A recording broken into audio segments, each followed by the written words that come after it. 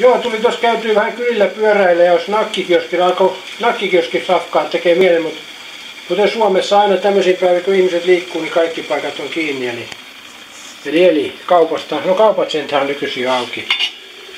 Helatorstainakin tuli haettua vähän nakkia. Tää oli e, Makkara Helsingin makkaratehtaan yönakkia. Pitkän Jussin sämpylää ja sitten siinä on tota, sinappikurkkusalattia, tavallista salattia ja, ja, ja vastapuolelle sinappia ja ketsuppia.